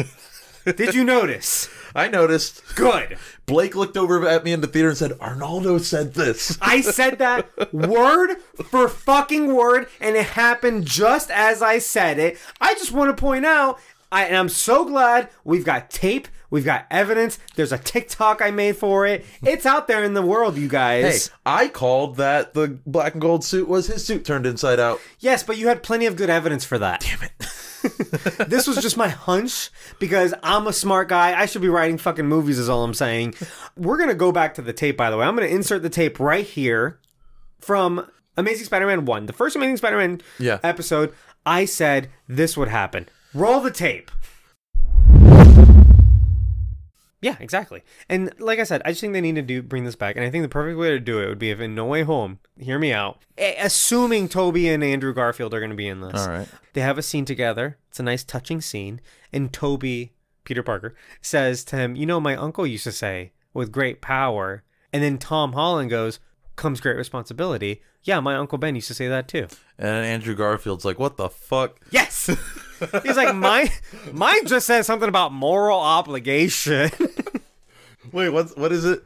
My uncle said that my father believed that if you could do good things for other people, you had a moral obligation to do those things. And then that's what's at stake here. Not choice, responsibility. oh, that'd be a really long scene. I think it'd be a funny gag, though, too. It'd be a great gag. And part of the reason I say this is just as proof, in case it does happen, you heard it here first. And that was the tape. they might have skimmed over like the Andrew Garfield thing. Maybe they soft rebooted it because he just he they would- look at him and he just like nods. Yeah, because he wouldn't. They wouldn't turn that into a joke, and I think we no, said it was this. a pretty serious moment. It's a serious moment, and I think I said that. I, I I think I said something along the lines of like, it doesn't need to be a joke because you'd probably undercut the meaning there. But he understands because his his uncle Ben said something similar, it was basically the same thing. and though. his dad said the real thing. Remember, in a deleted scene in a deleted scene that we will consider canon. I consider it canon because so that canon. scene was too good to not be canon. and they never made that next movie, so we're just gonna say it's canon. we might get that movie now. Maybe slightly different, probably. It's under consideration, and that's enough for me. Yeah. Um, yeah, now there is more consideration to kind of make more things Yeah. with Tobey Maguire and Andrew Garfield. Probably not Tobey Maguire. I mean, I I don't, don't know know. if Tobey wants to do it. Again, last thing he did was like Boss Baby narrator. Why? I'm not sure if he's interested or not. After Andrew Garfield, I'm just gonna call him Andrew Garfield or Peter number three. Oh, I also predicted that they would uh, number each other, but in my in my head, I thought he, they were going to go oldest to youngest. I thought they would too, and I think they did originally, but they were like confused. because they're just like, okay, so like Tom Holland's number one, Everybody Tobey's just assumed the other. Peter was Peter number two. yeah, and Tom and Andrew's like, well, fuck, I guess I'm number three. the way he delivered that too, he's like Peter number three. Every and I- here's something I do want to talk about. Every moment between the three of them is wonderful. it honestly felt like three brothers bonding. they had such good chemistry, which makes sense because they are literally the same person. yes, which we saw in like Loki, like two Lokis immediately hit it off. In some in some instances, too well, where they're all trying to like uh, stab each other in the back. two other. Lokis fell in love with each other. Exactly. So it would make perfect sense that these guys would have chemistry. But like my concern going into this, you know, obviously assuming that like this was going to happen or whatever, I was nervous that they would either take over the film spend too much time with Tobey, too much time with Andrew, not enough time with like Tom Holland, you know, wh- whose movie this is. Right. And then I was nervous that they would barely be in the movie and we would want That it more would just be of like them. a cameo. and they Goldilocks it. It's just right. They're in the entire like last 45 minutes of this movie? but it's just right. It's not Yeah. too much. It's not too little. No. And I mentioned this in one of in one of our I don't remember which one, but I'm uh we've done a lot of Spider-Man stuff.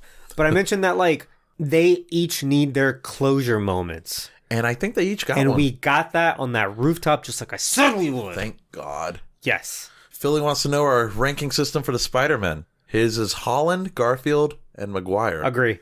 Mine is Garfield, Holland, Maguire. Uh I Andrew Garfield has always been my favorite Spider-Man, and he still is. This movie just solidified it. I think Tom Holland's the best. uh, I think he's not only a good actor, but I think I think he seems to really personify Peter Parker and Spider Man. Andrew Garfield is very good.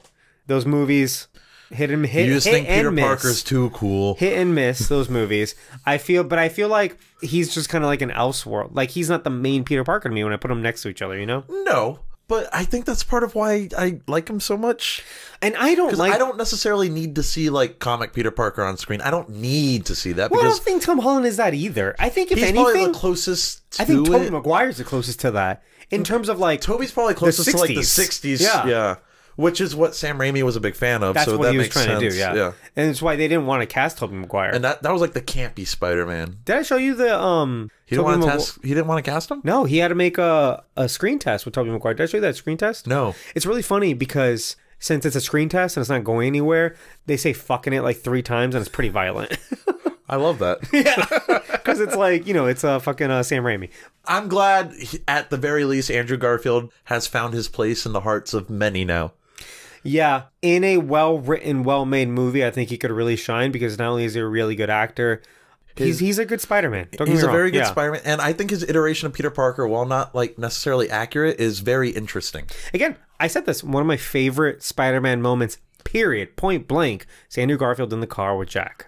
When he's saving him, Yes. and he's he's so good with kids. I think that's a beautiful scene in an underrated movie that's been easily forgotten. I think that that's a top Spider-Man moment for me, even now. Um, oh, something we didn't mention. I was getting to it, but then we got spiraling uh, with the Aunt May thing and the great power comes great responsibility. Tom Holland's Peter Parker, his defining moment, which is now Aunt May instead of Uncle Ben, comes from Peter wanting to do the right thing and Aunt May encouraging him and being his moral compass and Peter's being selfless instead of in most versions Peter's being selfish and it's like a lesson learned. and he learns a lesson because uh, Uncle Ben dies because of his Which selfishness. he does allude to that in Civil War, though, when he's talking to Iron Man. yeah, yeah, sorta. When he's like, "When you could do the things I can, Then that's on you. and you don't help somebody, uh, yeah, then that's on you." Yeah.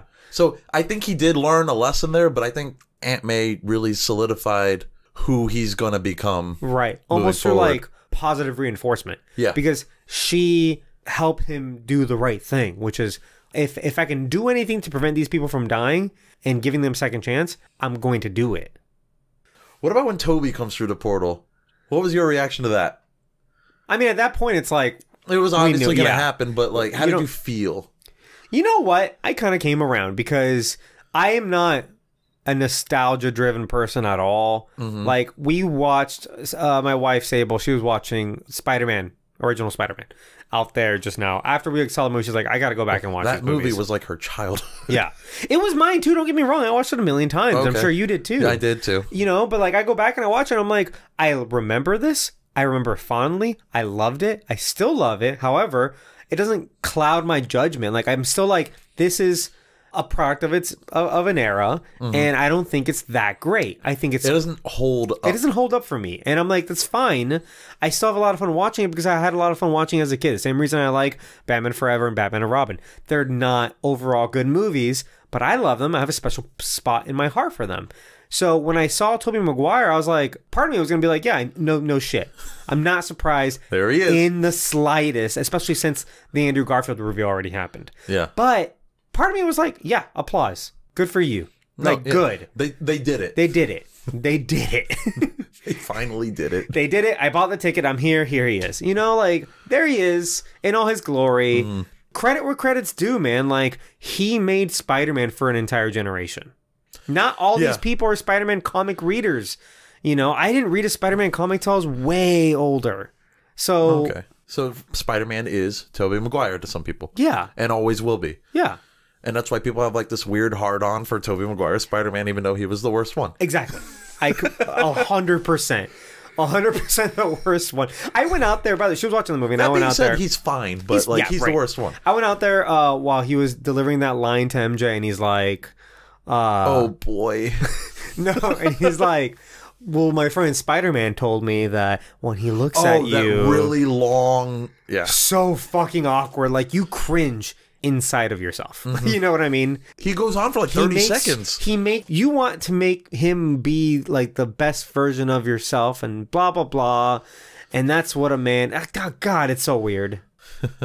oh, so we're talking about all their interactions. It felt very natural, organic, Yeah. well made. I was so afraid it'd be clunky and cringy, and it could have been horrible, but it was Yeah. fantastic. No, it was good. There was clearly a spider sense between Tobey and Andrew when they saw each other because their first instinct was to like shoot a web at each other. That's cool. Yeah. Um, so that was cool. Um, when they try to talk to Peter on the roof of his school, and they each have like their own story to tell about loss. yeah, and, and we were kind of alluding to that as like their closure moments. Yeah. Yeah. That's when I cried.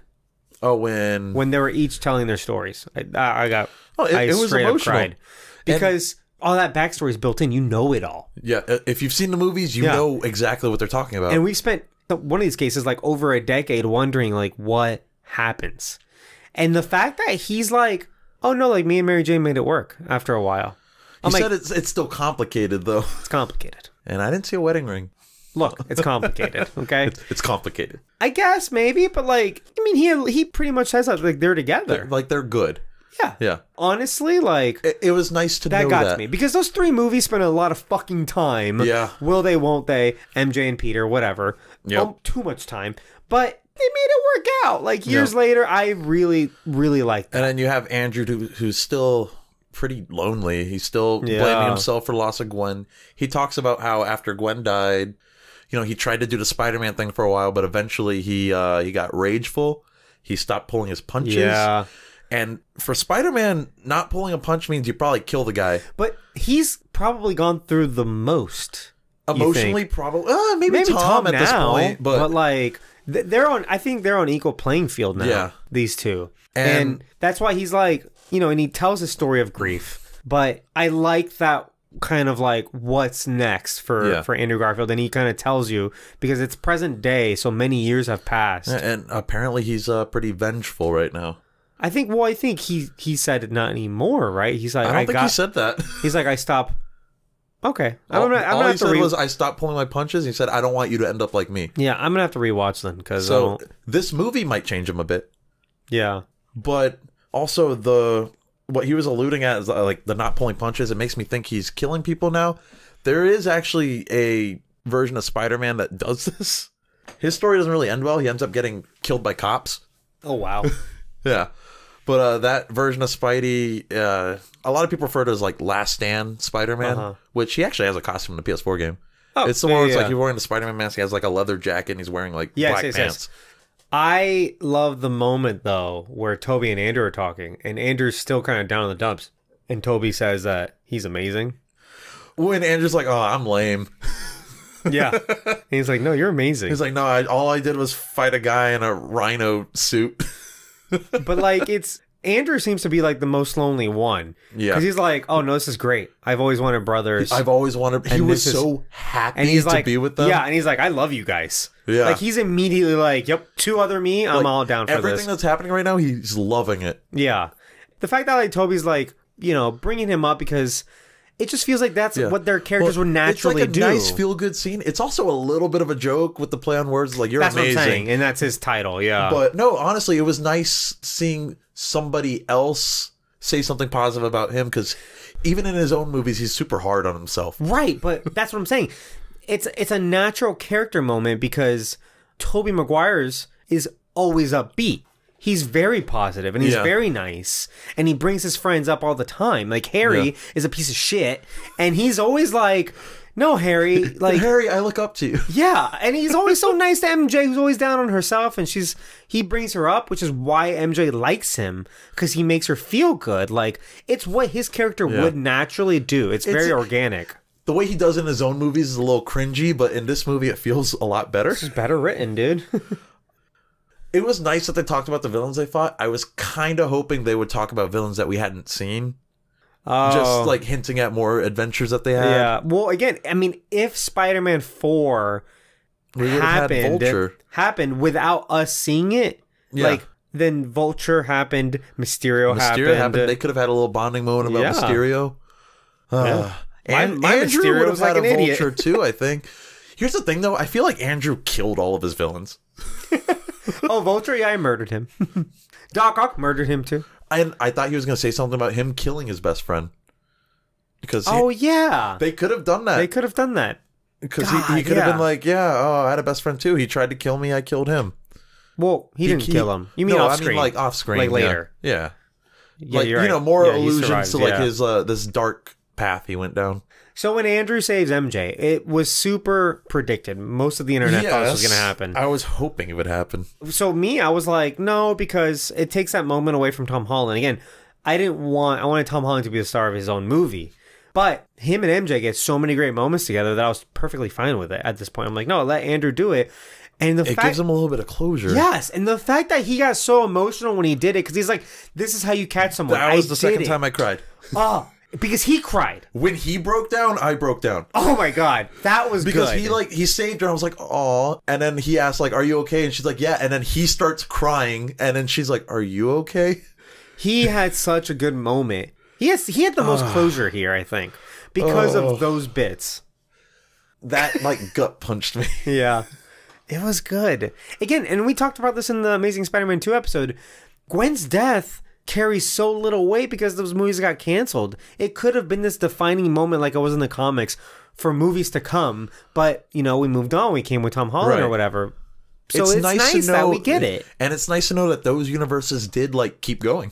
Yeah, It's, not, just nice to know that. it's not like they stopped happening. they still happen. But Well, again, they didn't get pruned by the TVA, so that's Oh, sure. thank God for Loki. Well, they're still they're separate. That's the whole point. They get pruned if they start coming together. Well, they would have been pruned here if Loki yes. didn't happen. yeah. This, none of this would have happened if if the TVA was still around. yeah. And all this goes to show why it's better that they were not de-aged. Because they have to impart this wisdom as Peter Parkers who lived this shit, Yep. experienced it, and know better. Because at the end of the movie, Tom Holland, Peter Parker, Spider-Man one, right? Peter 1? Uh, yeah, he's gonna kill Green Goblin. Oh, yeah, he loses it at this point. He he does, and it's Tobey Maguire who stops him. And at first, I was like, no, he should come to this decision on his own. This should be a character moment. It still is though. It works out very well because he just needed that push from Tobey. You Yeah. know what I mean? Tobey didn't say anything to him. He just stopped them from literally stabbing Well, him. they were they sat on the sidelines. They just watched the fight for a while, and then when it was gonna happen, he came He in. stepped in when he felt like he needed to. yeah, Yeah. and it works because he's the only Spider-Man who's learned this lesson. Yeah. because he says it. He said, "I wanted a man dead so bad, and I got it." He didn't kill him. Remember, the guy fell, Right. but he got his wish. And he said it didn't help. doesn't help at all. And Andrew was saying that he did start killing people, and he's like, I don't want you to be like me.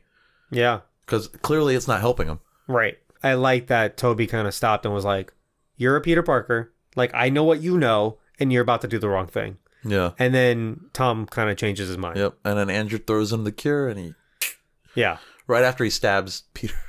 right So- after he stabs Peter, too. yeah. Tobey's like, "I've been stabbed before. You've been stabbed by that very same thing, by the way. Yeah. that same fucking blade." So yeah, that was the all the Spider-Man's interactions with each other. And then like they have like their nice little goodbye at the end. They have a genuine hug. yeah, and we barely talked about it, but like the fucking um science lab, all that was amazing. That was great. That was great interactions all and around. we actually see Tobey Maguire's Peter Parker doing something smart. yeah, like he says he's smart, and everyone says he's smart, and he's got his papers. Like they're late. He's planning on He's writing it. planning on writing it. But yeah, he he's still a Peter Parker. He's a smart guy. Yeah. I love that Andrew Garfield's like, I've already cured this guy. I got the algorithm. Yeah, he's like, yeah, so it's not a big deal. And I just look at him, he's like, it's not a big deal. All right, let's do it. um, he used a water bottle as a Yeah. cylinder, graduated cylinder or whatever. Thought was And funny. then um all of the Spider-Man's interactions with their respective villains too are good. Like when Andrew's Yeah. like, "Hey Max, I missed you, buddy." Oh, oh, oh! Here's the here's some good closure. Is Electro and Andrew Garfield Yeah, when he gets depowered, he gets the Stark reactor pulled away. Just to like breeze through this, like all the villains' motivations make perfect sense. Like I said, Sandman just wants to go home. He just wants. Yeah, He's not I on want to side. fuck off so bad. The only thing he wanted to do was push that button. He's like, the happiest moment of my life is when I just like fucked off at the end of Spider Man 3. Can we just do that? Yep. He's like the guy who's just like at work who's like, can we just end this meeting? Was it necessary? Can we go home? Like, just, it's over? Okay, cool. I'm out. This could have been an email. this could have been an email. That's him, yeah. But also, like, he's got his daughter, but he's willing to at least give it a shot. Like, if he could be cured, then it solves his problems. Yeah. Even back home. So he's down to, like, chill or whatever. Electro finds an arc reactor. Makes perfect sense. The biggest battery in the MCU. And Electro, who needs to be recharging all the time. Boom. Like, it's a match made in heaven. It makes perfect sense yeah. some of that hand waving lamp shading uh we always talk about though is like when uh he comes to this universe and he's telling he's handsome he's got a good haircut and they make Yeah. fun of him for his teeth He's like, I are look nice. good now. he's like i'm handsome and cool and suave i don't want to go back there He's like, I like how I look in this universe. yeah jamie Foxx is so fucking cool and dapper and good looking why the hell would you turn him into what you Yep. did in amazing spider-man 2 and then Connors was like, Yeah, last time I saw you, you had a comb over and messed up teeth. i already said i didn't think that was him he also had like the least amount of play was lizard yeah, he, he was just there. he was kind of just there yeah, i was kind of like really Even his like he's after he smart they cured, used him for stuff His scene looked a little weird. Like it looked like it was just ripped from Amazing Spider-Man. That's why I thought they used archival footage. they might have. and just you had him for voiceover, but even in some places he didn't sound like himself. I kind of still don't believe that's him. Maybe maybe they couldn't get him for whatever reason. I'm gonna have to look at the credits because Yeah. Wikipedia says it's him, which is why I buy it. I mean, it could have been just voice work. But no, like the footage looked archive. Like when you actually see him, it looked like Ripped from uh, like when he got cured the first time yeah, around. exactly. It look, kind of looked like in Zack Snyder's Justice League. There's some Superman footage that they just repurposed from other movies, and they just kind of like they flipped it, they recolored it, Yeah, they made like, it look different. Maybe this will be different enough. Yeah, but it's the same footage. They didn't, Yeah. they didn't bring back Henry Cavill, is my point. Right. That's kind of what I thought it was. But they made fun of him for being in love with lizards and fucking wanting to turn He's like, everybody oh, I into got a a lizard. makeover for you. He's like, what? You're gonna turn me into a lizard? Yeah. They're beautiful. what don't you like about lizards? Lizards are fucking awesome. You can't even find a lizard because they're an apex predator. yeah. First, you'd have to catch a lizard, and why? how would you even do that?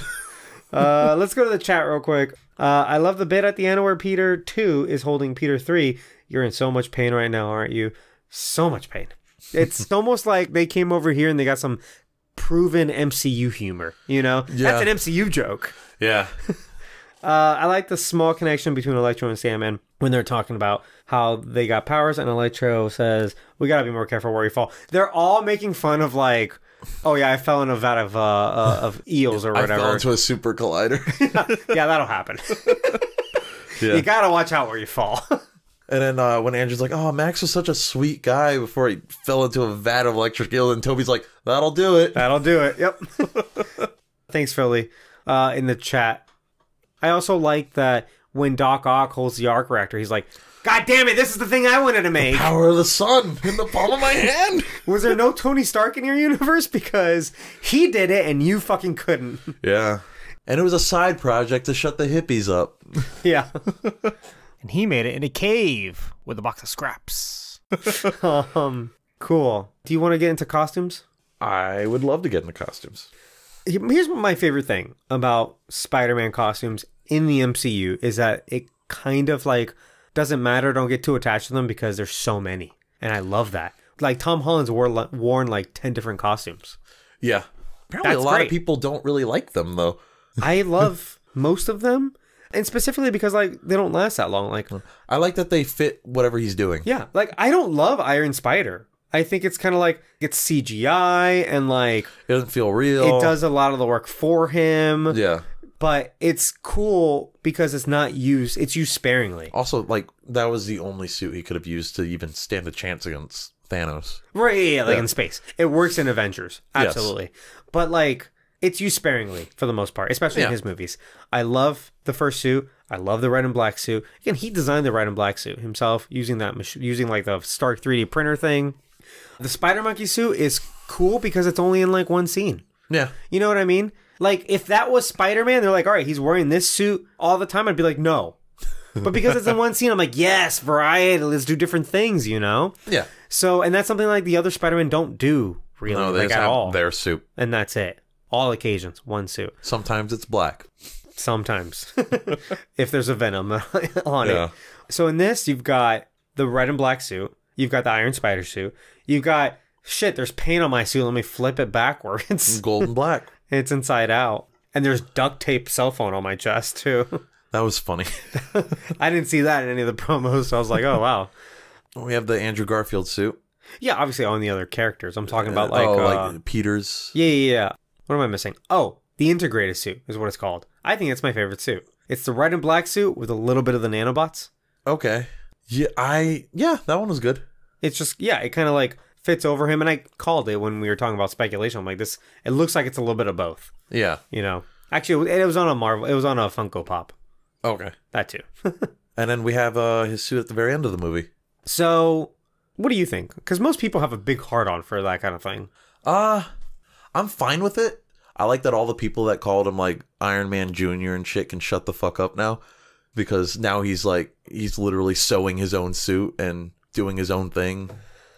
I mean, yeah, yeah, I, think, see I think that. the blue is a little too bright. the blue is so bright and so light colored and it's it seemed very shiny i loved the way the first suit looked i thought that's the perfect spider-man suit mm-hmm. i kind of hate how comic accurate some things are going to and i've said this before on the show Yeah, because you didn't like um the new Captain America suit. i liked it up until the fucking sock on his face he needs a helmet To- like If anything, to protect his head. He's Yeah. not super powered. He's not no right. Like Steve wore a helmet and he's super powered.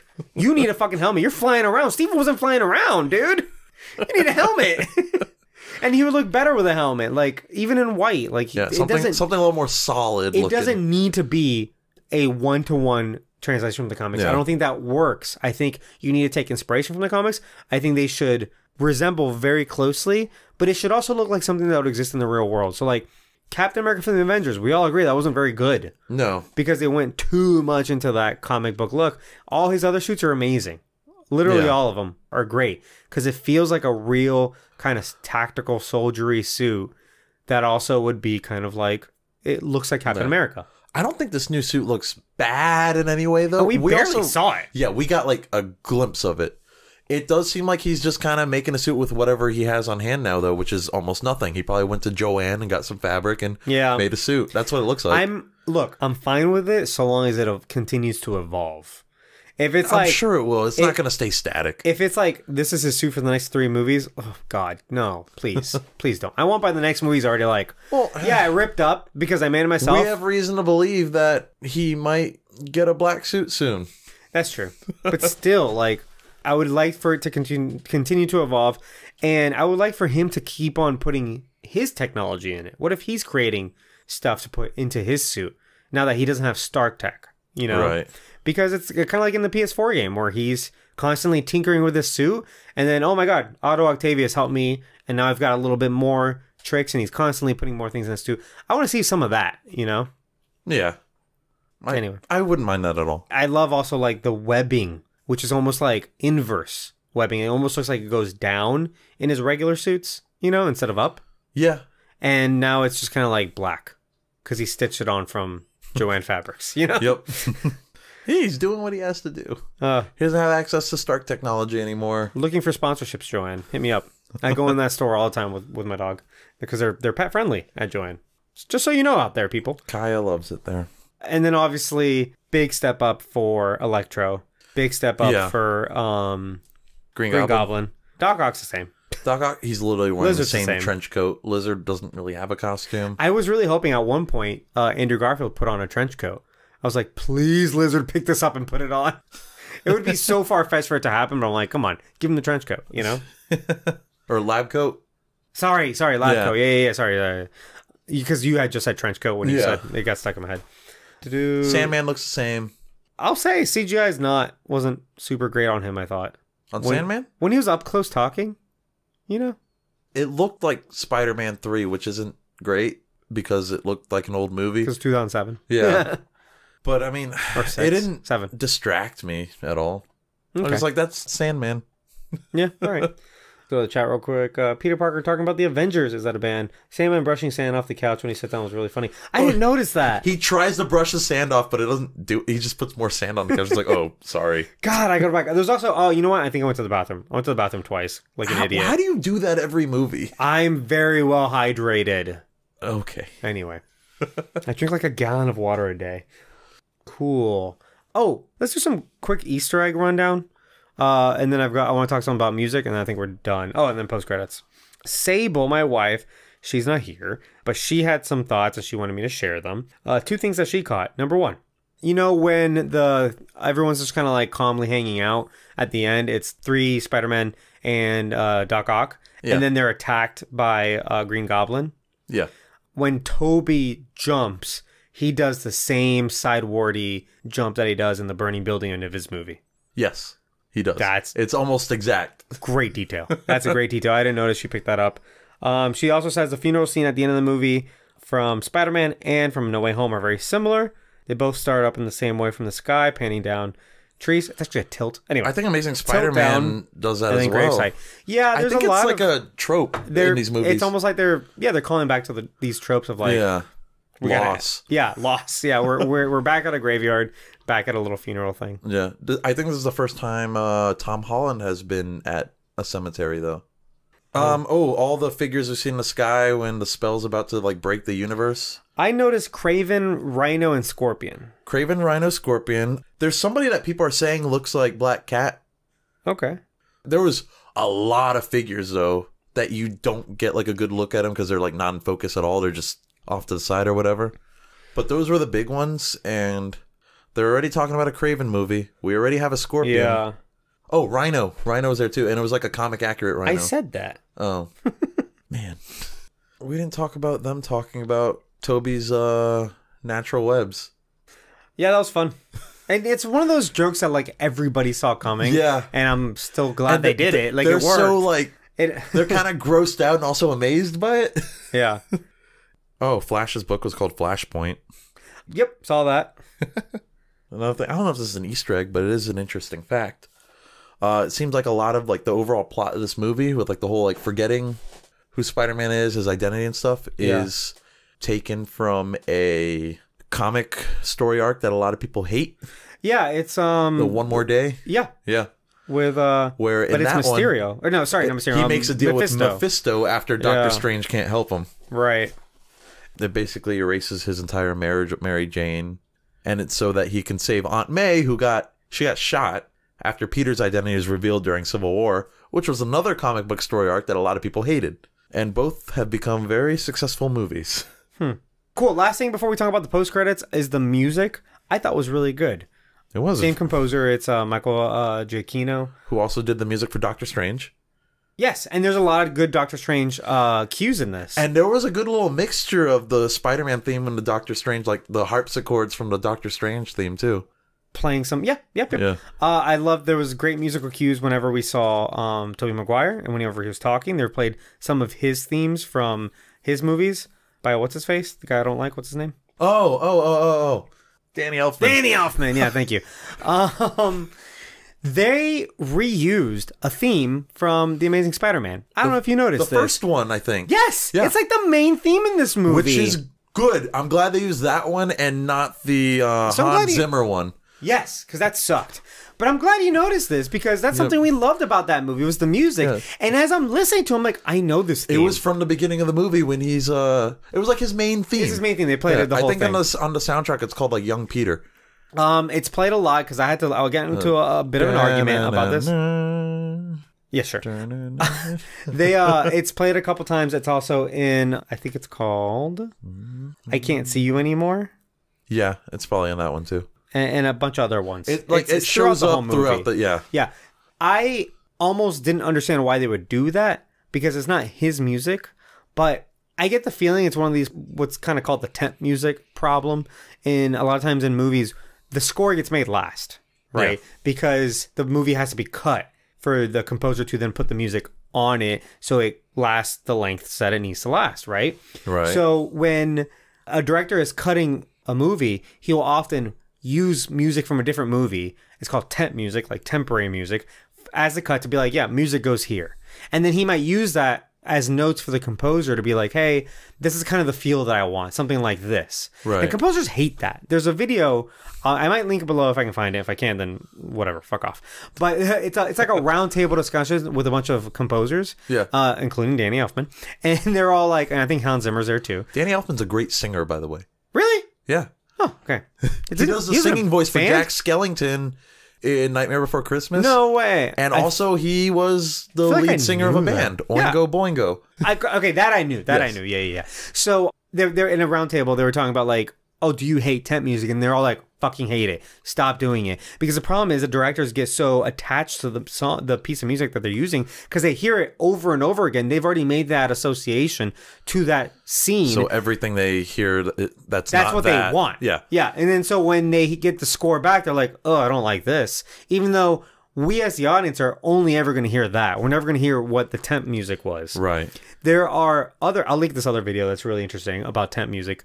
There are cases where you can see, not see, I guess here, what the temp music was because they're so similar and they've led to like litigation, uh, like lawsuits because you've basically, you're basically plagiarizing. Uh, plagiarizing it. Yeah, the music. And so this seems like one of those cases where they get away with it because they own that music. Yes. Sony owns both. So they're like, yeah, I wouldn't be surprised if the director, Jon Watts, was using that score, like James Horner's score, as temp music in certain places. And then, then he tells Giacchino, he's like, I kind of want this. You know, can you, what can you do with this? Because it's the same exact melody, it's the same exact notes, but the kind of like, the structure is slightly different in a lot of places. Yeah. But the theme is exactly the same. It seems purposeful, though. But that's the other thing. Is it intentional? Because it's almost kind of like that was his mu- his music in, Ama- in Amazing Spider-Man for Andrew Garfield's loss. I think that's absolutely why with they did it. what they play for his relationship with uh, Uncle Ben, and then with Gwen Stacy, and then and here we've got another Spider-Man kind of going through the same thing. And just like the characters in this that are all variants of each other, the music is a variant of itself. Yeah. Like, is that what they were going for? I could see that. I like both. Yeah. I like that idea. You know. Yeah. But uh, I love that theme. and I thought it was criminally underused in the next movie. So I'm glad that it gets some more play. Like Yeah. it's it's it's amazing. They, it's a did, great they theme. did the good version of it. yeah, it's A, that is good music. Let's get into the post credits. We got two. The first one is Eddie Brock Venom. Being a bozo. He never left Mexico. He's like, oh yeah, let's go find the Spider-Man guy, and he goes to the bar and he just sits there with fucking Dani Rojas from Ted Lasso. and I guess he just got a whole recap on the events of the MCU. yeah. And And he's like taking notes and he's like, I'm so fucking confused. I'm not ready for this universe. And then he fucking leaves it because the entire events of the movie happen right then. What an idiot. and when he when he disappears, he just goes, oh. and What? it's right after he says, "Senor, you have to pay." That's funny. "Oh." but then we get a little tiny like piece of venom that stayed behind. Little symbiote, yeah. That now has all the knowledge of this universe. Symbiote. Sorry, I said symbiote. that movie fucked me. And it wasn't again. It wasn't the movie. It was a trailer uh, for Venom. Oh yeah. Yeah. So, So this Venom has knowledge of all the events, and the last action he was going to do was to go to New York and talk to Spider Man. So that's true. this little symbiote might have a mission. Okay. Here's the thing. What is the end game here for Sony and Venom? What Well- are they? What's the plan? For Sony, this might be the best of both worlds. I think it's They can do their Venom 3 however the fuck they want now in their universe. And they have this Venom in the MCU now that they're probably going to make money off of. because That Marvel can do Okay, whatever we talked about with. this in our Venom episode a lot. My complaint was they didn't do the Venom story, and it's fine to not always do the comic origin. But the thing is, Venom is a product of Spider-Man. That's why he looks like Spider-Man. That's why he has Spider-Man's powers, and that's why the Spider Sense doesn't work against him because he spent Right. a lot of time on Peter Parker And he took And he- a lot of his traits. attributes Yeah. exactly so when he goes on someone else who's muscular and angry and eddie brock that turns into venom right those are the two parts of venom right so you skip that by not having spider-man be part of his origin right and they kind of get around with it because instead of like you know he shoots his tendrils but it's not an answer to the webbing. It's just something Right. that he does. But what he left behind is what I'm assuming is like an offspring, kind of like what happened with Carnage. Yeah. So this could be a fresh start for a Venom in the MCU, and Okay. we could get that Spider-Man story. But then what the fuck are we doing with Tom Hardy then? Because now it's like, okay, cool. Now you're giving me what I want, which is a brand new, fresh Venom Right. that's going to be made the proper way through Spider Man, probably. But like, then why did we watch two Venom movies? Is all I'm saying. Oh, because those are in the Venom universe, which may or may not be related to Morbius, So- which Sony is trying to turn into a profit. And if they bring Andrew Garfield back, maybe it'll be in that universe. But then, like, what? I'm just so fucking confused as to like what the plan is with Tom Hardy because I had made peace with this. I was like, you know what? And again, we talked about that movie a lot, but Right. I uh, Venom two, not Venom one. Uh, actually, we talked about both, so it doesn't matter.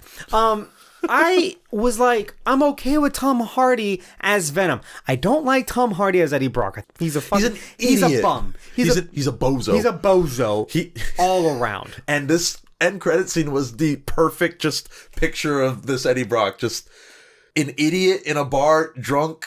Again, the reason we don't have a quote unquote Sinister Six is because this bozo just sat in a bar the entire movie trying to take notes on background information. He gets transferred to another universe, and the first thing he does is just goes to a bar and just talks to a bartender Look, for hours. I it's assume. probably what I would do, but I'm No, not. it seems like a very everyman thing yeah. to do, which I guess I'm not a big hero nor villain, is what I'm saying. there's like why did Venom let him just sit here and talk? Yeah. Again, I was already, I had already made peace with this Tom Hardy thing, and now I'm like, so are we gonna get a completely different Venom now? Are they gonna know. meet up and have an in, an, a Venom verse movie? I will like, say there was something kind of charming with how stupid he was in the scene, though. Especially the tele, just whoa. here's something I might not hate. You keep Tom Hardy voicing Venom. I'd be totally fine with that because he does a good job with that. and actually. it's a different actor maybe as Eddie Brock or or hear me out hear me out hear me out. a variant of Eddie Brock, who is also played by Tom Hardy maybe not as dumb. but yeah a smart competent one who's good at his job and he's like maybe I don't know Maybe like- he works for the New Daily Bugle. yeah why not and you can say you can still be played by Tom Hardy it's just a different take And maybe he believes Jonah about Spider-Man being a piece of shit. Yeah I don't know No, mm. it'd be confusing but I'm like whatever retcon your Make boss is a bad guy. Yeah, he wouldn't say stupid shit like that. He wouldn't show up to a TV interview in a fucking sweater and like five o'clock shadow. and sweaty Yeah, and greasy and weird and asking dumb questions. and mumbling. And yeah, God, he's so stupid. He's like the worst reporter. and no one believes. But he had his own universe. TV show? Bullshit. Fucking bullshit. Again, he's supposed to be like the fucking Anderson Cooper. Is he like a this- Pulitzer no. Prize winner? No. bullshit. Oh, I forgot to talk about one of the most beautiful scenes in the movie. Right after Aunt May dies, when Jonah's talking about like you know like the loss and like how this is all Spider-Man's fault, and Spider-Man's just standing in front of the giant screen just watching it, mm-hmm. And it's raining, and Yeah. oh, and he looks defeated. That was such a beautiful shot.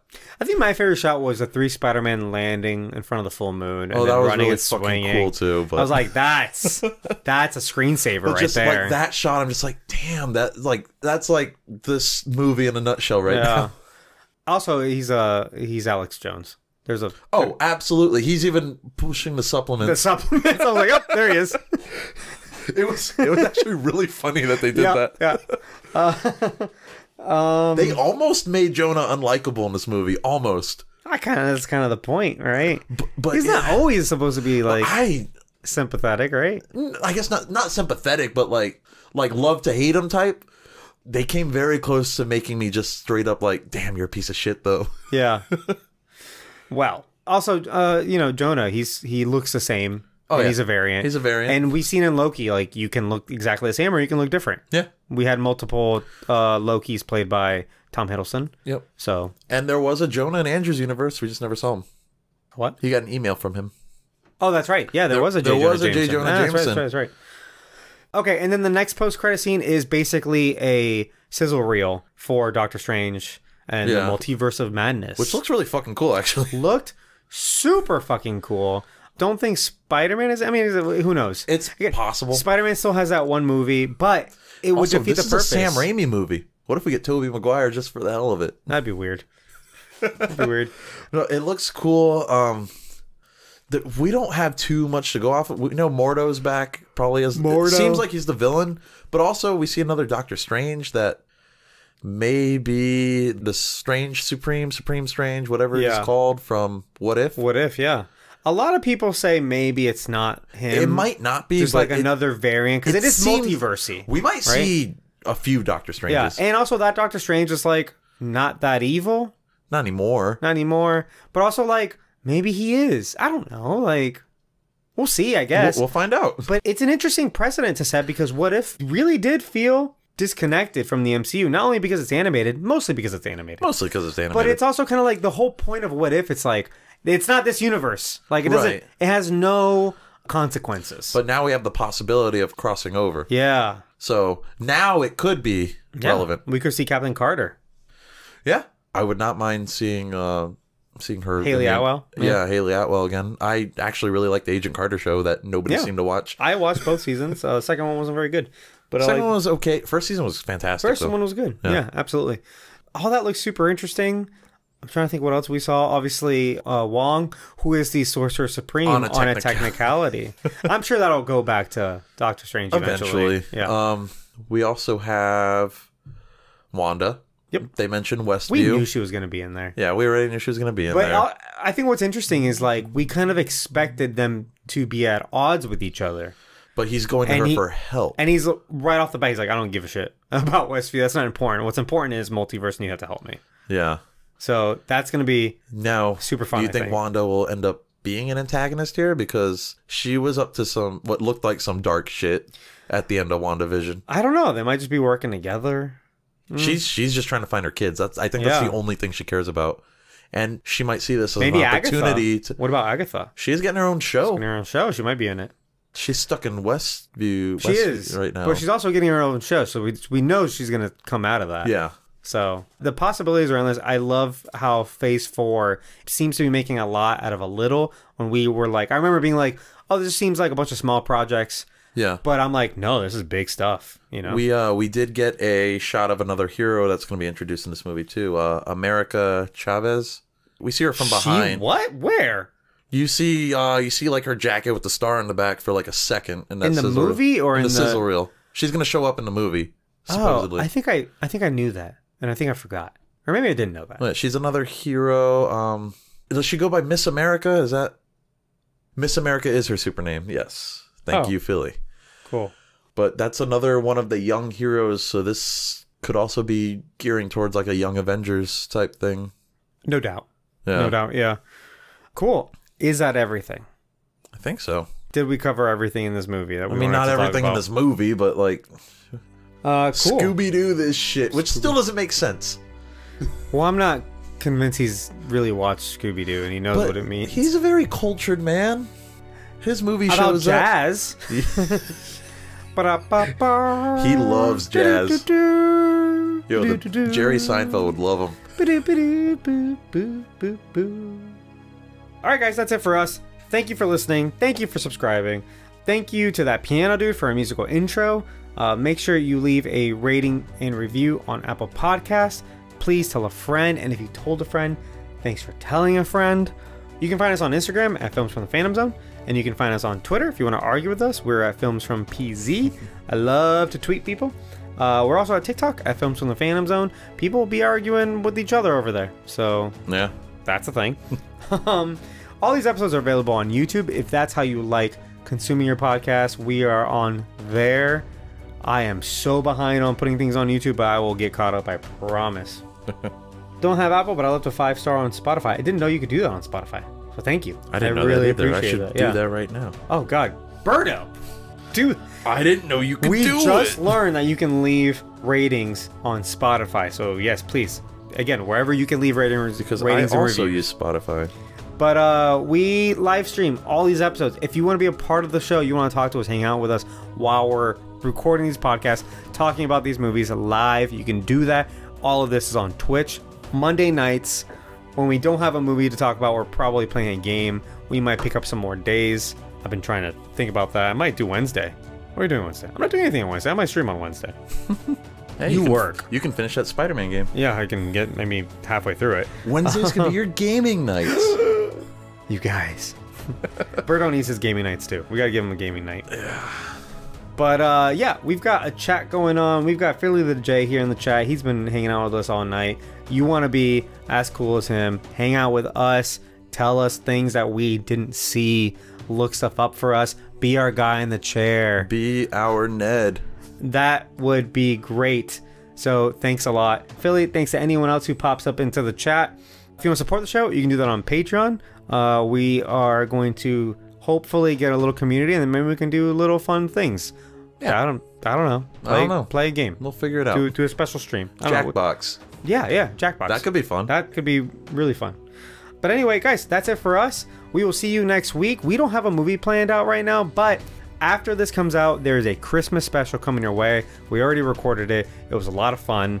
That's going to come out on Christmas Eve. We've got So- a New Year's one plan for like awards, maybe. We're still kind of iffy on that Not one. New Year's as in like January 1st. Oh no, like but, but like to in like the next year to bring in yeah, yeah, yeah, the new year. In the next year, we will celebrate all the hard work we did and do a Phantom Awards show. Yeah. where we can talk about every movie retrospectively and uh, kind of pick our favorite different categories. How does that sound? Sounds fun. Cool. So yeah, so we will see you then. That's it for me. We're saying bye. I know, but I'm, I lost my train of thought. It happens so often. Yeah, so that's it for us, guys. Thank you so much, and I will see you uh, in the new year. Yeah, happy New Year, guys. And Merry Christmas. Merry Christmas. And watch Hawkeye. happy holidays. Happy if Hawkeye's Hanukkah. good enough, we might just review Hawkeye. like the series as a whole. I don't know. Maybe, maybe not. Seems like work. Daredevil's canon. Oh my god, Daredevil. So go watch, go rewatch Daredevil. That's everyone's homework assignment. Uh, all right, cool. We will see you guys later. Thank you and bye. Bye.